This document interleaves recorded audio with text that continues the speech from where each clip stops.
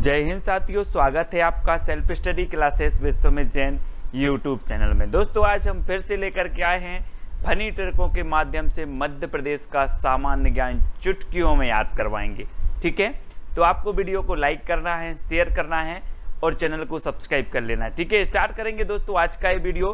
तो साथियों, अगर आप एमपी जेल प्रहरी परीक्षा की तैयारी कर रहे हैं तो आपके लिए सबसे बेस्ट ऐप है परीक्षा ऐप जी हाँ दोस्तों, जहाँ पर आपको संपूर्ण मटेरियल उपलब्ध होने वाला है, संपूर्ण टेस्ट सीरीज़ उपलब्ध होने वाली हैं, ठीक है? तो आप प्ले स्टोर से परीक्षा ऐप डाउनलोड कर सकते हैं, नीचे डिस्क्रिप्शन में परीक्षा ऐप की लिंक दी है तो वहाँ से भी आप परीक्षा ऐप डाउनलोड कर सकते हैं। दोस्तों, आपको वहाँ पर बहुत अच्छी अच्छी टेस्ट सीरीज़ मिलेंगी। आपका एम पी जेल प्रहरी का पूरा कोर्स कवर किया जाएगा। हर एक चीज़, चाहे आपका मैथ हो, अंग्रेज़ी हो, है ना? विज्ञान हो, सामान्य ज्ञान, सभी टेस्ट सीरीज़ वहाँ पर उपलब्ध हैं और ओल्ड पेपर से रिलेटेड हैं ओल्ड पेपर से संग्रहित हैं और दोस्तों एग्ज़ाम पैटर्न पर आधारित हैं। ठीक है, पूरा टॉपिक वाइज आपको यहाँ पर सिलेबस उपलब्ध होगा, आपको टेस्ट सीरीज़ खरीदना है। ठीक है टेस्ट सीरीज़ खरीदने के लिए आपको 100 परसेंट पैसे नहीं देने होंगे। अगर आप यूज़ करते हैं coupon code self S C forty है ना? आपको कूपन कोड मांगेगा तो आप self S C forty use करें और आपको यहाँ पर कितना डिस्काउंट मिल जाएगा। अगर एक कोड आप यूज़ करते हैं तो 40 परसेंट का डिस्काउंट मिल जाएगा। यानी कि अगर कोई टेस्ट सीरीज़ सौ रुपये की है तो 40 परसेंट का डिस्काउंट, यानी कि आपको साठ रुपये में मिलेगी। ठीक है?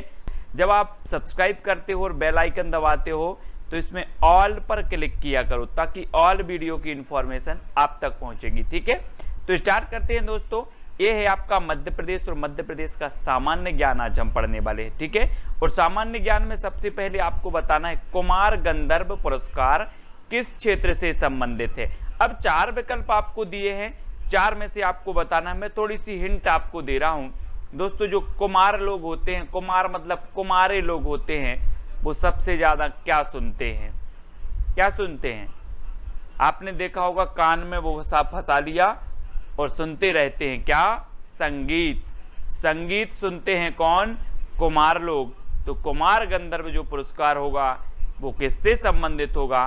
उत्तर आपको ही बताना है। उत्तर हो जाएगा संगीत से संबंधित। यानी कि ए नंबर आपका बिल्कुल सही हो जाएगा। ठीक है? अब अगला क्वेश्चन आपको बताना है दोस्तों, पातालकोट घाटी मध्य प्रदेश के किस ज़िले में स्थित है? पातालकोट घाटी। जी हाँ दोस्तों चार विकल्प हैं। दो सेकंड में आपको उत्तर बताना होता है और मैं आपको हिंट देता हूँ दोस्तों कि हम बोलते ना कि वो तो कहाँ चला गया? पाताल लोक चले, चला गया। अगर आपको छेद दिया जाए, अगर आपको छेद दिया जाए दीवाल में तो आप कहाँ चले जाओगे? कहाँ जाओगे? यहीं बने रहोगे धरती में कि पाताल लोक। पाताल लोक चले जाओगे, है ना? तो पाताल कोट घाटी मध्य प्रदेश के किस ज़िले में होगी? किस ज़िले में होगी? छिंदवाड़ा, है ना? क्योंकि आपको छेद दिया जाता है तो छिंदवाड़ा आपका बिल्कुल सही है। क्षेत्रफल की दृष्टि से सबसे बड़ा जिला यही है मध्य प्रदेश का। देख लो इसको जरा, छिंदवाड़ा को। ये है आपका दोस्तों, मैप में देखो। ये है आपका छिंदवाड़ा। मध्य प्रदेश का सबसे बड़ा जिला है क्षेत्रफल की दृष्टि से। और यहाँ पर पातालकोट घाटी है, ठीक है? याद रखना है। अगला बताना है दोस्तों आपको सरदारपुर वन्य जीव अभ्यारण कहाँ स्थित है? दो सेकंड आपको दिए जाते हैं दोस्तों। आपने वो फ़िल्म देख ली होगी, केसरी।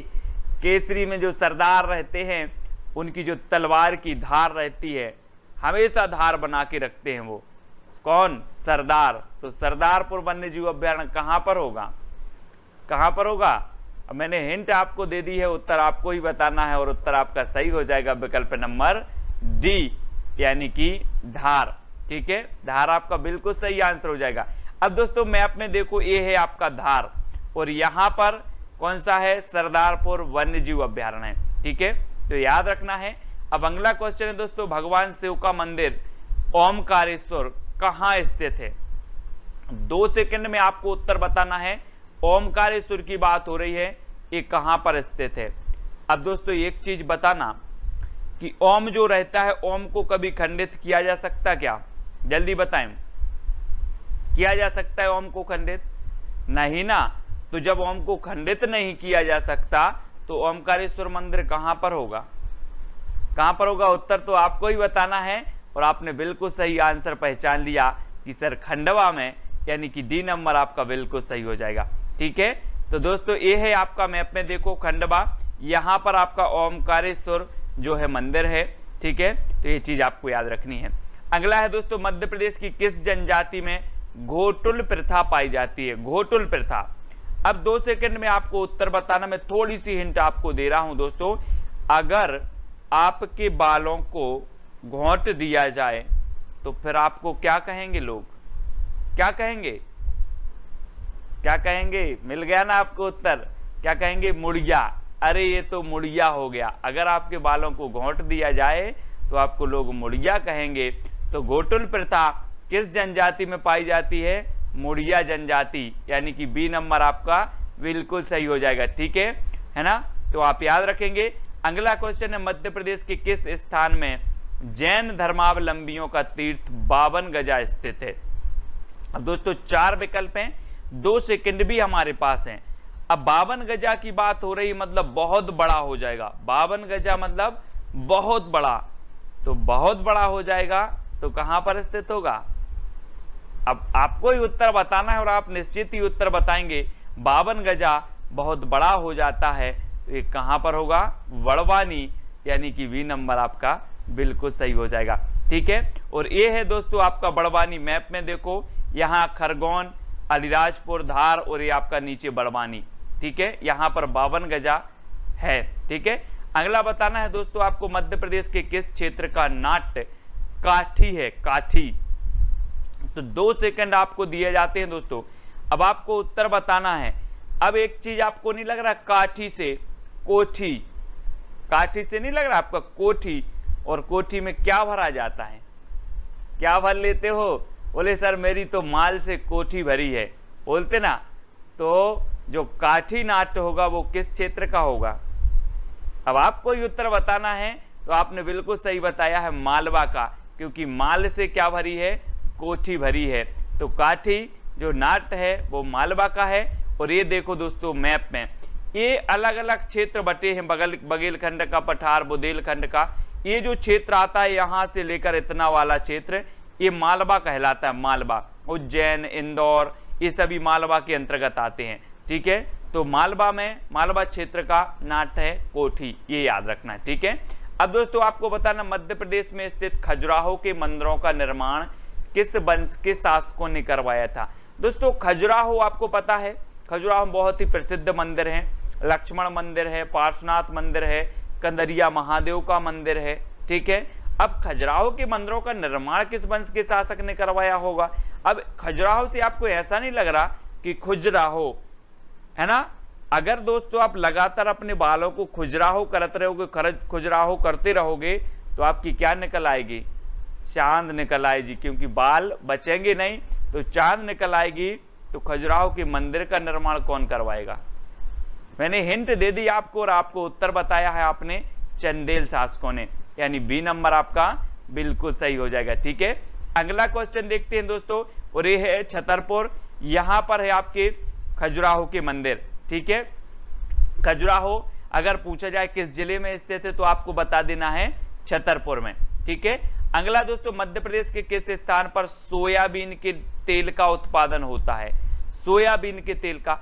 अब दोस्तों, आपको तो पता है कि सोयाबीन का उत्पादन बहुत होता है मध्य प्रदेश में, इसलिए इसे सोया स्टेट कहा जाता है।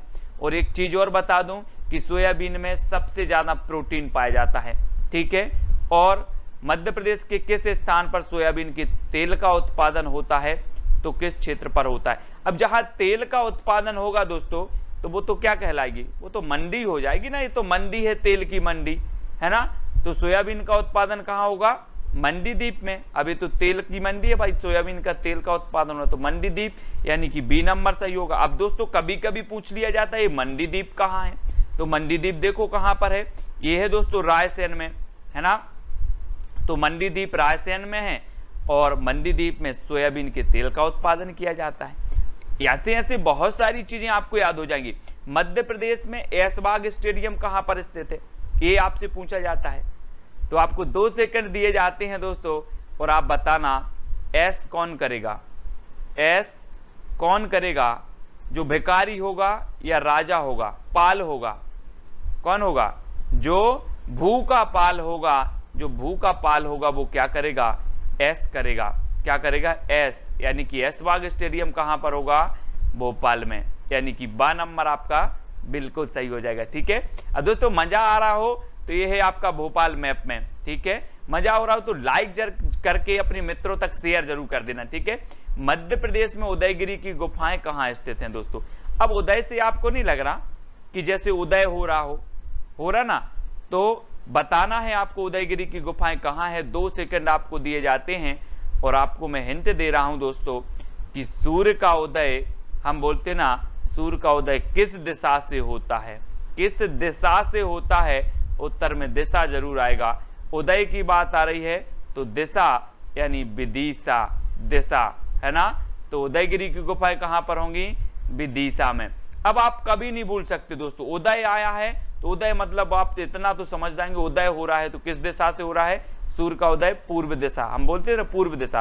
तो विदिशा में है उदयगिरी की गुफाएँ, ठीक है? इस प्रकार से याद रखेंगे। अब दोस्तों, ये विदिशा कहाँ पर है? तो ये है आपका विदिशा, ठीक है? ये भोपाल है, राजगढ़, अशोकनगर, गुना, सागर और बीच में विदिशा, इस प्रकार से। अब आपको बताना है दोस्तों, सांची का स्तूप का किसने बनवाया था? सांची सांची का स्तूप बताना है। किसने बनवाया था? चार विकल्प है और दो सेकंड आपके पास है। तो जल्दी बताना है। एक बात बताएँ दोस्तों कि जब अशोक ने कलिंग विजय प्राप्त की और इसके हृदय में जब सच्चाई जागी आत्म चेतना जागी तो इसने क्या कर लिया था? बौद्ध धर्म अपना लिया था और तब से क्या बोलने लगा था? सांची बोलने लगा था। क्या बोलने लगा था? सांची बोलने लगा था कौन? अशोक। तो सांची का स्तूप कौन बनवाएगा? अशोक, क्योंकि अशोक क्या करता था? सांची बोलने लगा था, ठीक है? तो यह झूठ नहीं बोलता था, सांची बोलता था, ठीक है? तो ये अशोक ने बनवाया था दोस्तों, और ये सांची का स्तूप कहाँ है? तो ये रायसेन में कभी कभी पूछ लिया जाता है, सांची का स्तूप किस ज़िले में है? तो ये रायसेन में है, ठीक है? ये भी हमें याद रखना है। दोस्तों, उज्जैन का प्राचीन काल में नाम क्या था, ये भी कई बार पूछा गया है। तो उज्जैन, जिसे महाकाल की नगरी कहा जाता है है ना? कुंभ का मेला भी यही लगता है। ठीक है? तो इसे कहा जाता था दोस्तों क्या? अबंतिका क्या कहा जाता था? अबंतिका आपको याद रखना है। मैप में देख लो यहाँ पर। ये है दोस्तों उज्जैन, है ना? उज्जैन, जिसे अबंतिका कहा जाता था प्राचीन काल में, ठीक है?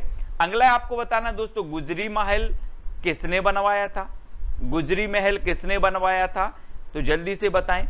अब एक चीज़ बताना दोस्तों कि हमारे जो परिवार में रहते हैं बहुत जो हमारे दादा परदादा, वो गुजर गए।